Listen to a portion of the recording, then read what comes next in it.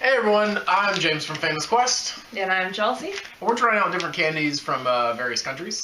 Today we got Katjes Sauer Johannisbeeren from Germany. So you'll show the good people uh, packaging in detail here. I'm uh, I'm looking at the website here. Uh, started around 1910, and uh, in the 1950s, he named he named the whole family after the product or something.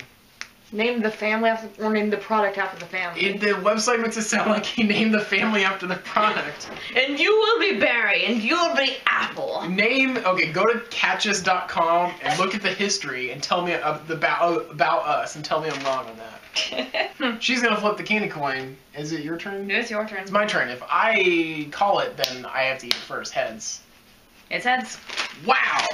All right. So I'm eating the cat. I'm eating Katniss You're eating the cat? I'm eating the cat. I'm eating Katniss first. He's being really distracting while we're doing this. He is. Oh, Running these- around pooping, getting these- in the are these actually- presents. These once again, these smell terrible, but they look super normal. I smell it. So there. Ooh my! They like some of these kind of smell like poop. Smells like a cranberry. Oh, I wonder if that's what these are. Oh, please don't be cranberry. I'm not a big fan of cranberry. I hate cranberry.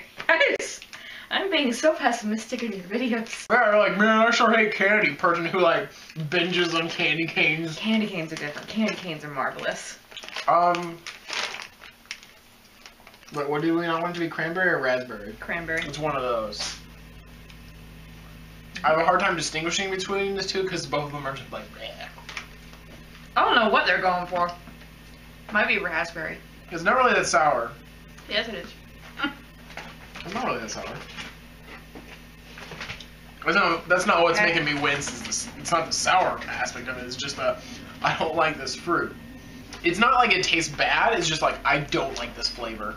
So I'm gonna give it a two out of five. I can see that some people would like it. I'm, I'm also gonna give it a two out of five. All right.